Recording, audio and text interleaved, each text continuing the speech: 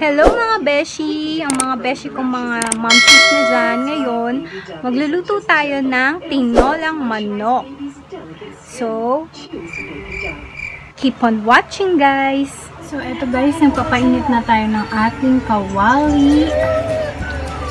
At lalagyan na natin siya ng mantika. So, yun guys, nagpapainit na tayo ng mantika. Nakikita nyo na medyo umusok-usok na siya guys. Ilalagay na natin ang bawang at luya.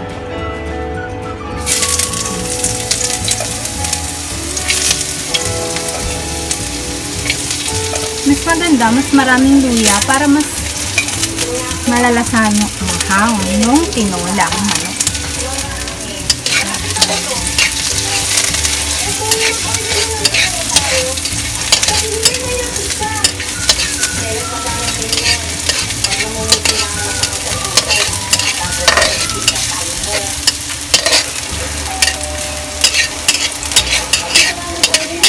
Ayan guys.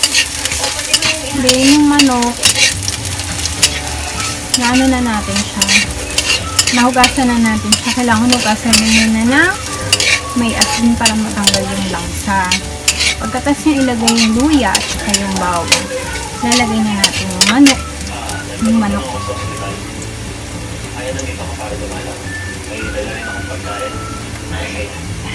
Asan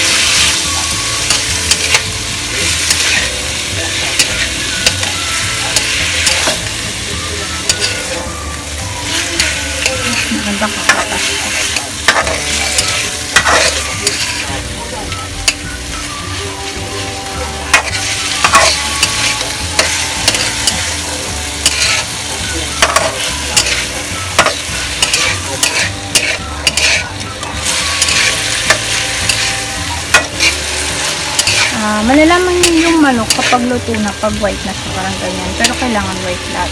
Ito. Yung mga beshi, mas maganda talaga. May luya.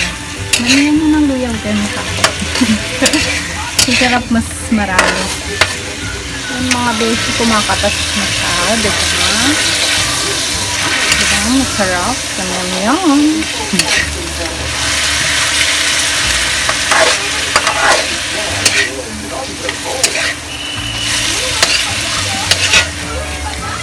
Haluin nyo lang ng haluin.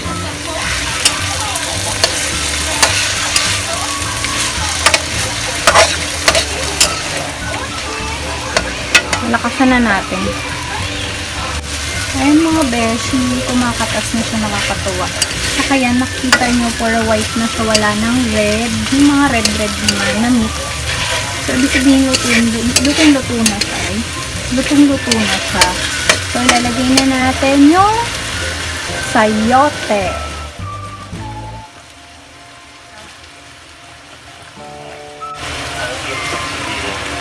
Yan, nilalagay na natin mga beshi yung ating sayote.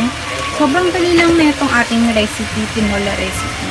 Kahit mga beginners or bagong or new mom, pwedeng gawin, gawin ito. Sarap. Diba, mga beshi? Haluin niya lang at pakatasin ang manok. At yun mga beshi, nilagyan ko na ng sabaw, 2 cups. Yung sabaw. At ngayon tatakpan na natin. So, ayan mga beshi, kumukulo na siya. Naglagay na rin pala ko ng nor cubes para lasang chicken at chicken ang ating tinolang manok. Diba? Ang ganda niya, diba? Nilagay na ang ating sayote. Hintayin na lang na hindi pa malambot mga beshi. So, eto na guys, makulo na siya. Lalagyan na natin ang dahon ng sili.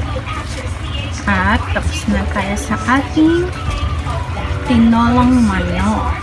Ayan, dagdagan natin ng tubig para masabaw siya para pagdating ni Mister, higop siya ng sabaw. Sarap to para kapag pagod ka, alam yun, sigop kayo ng maanghang-anghang na sabaw.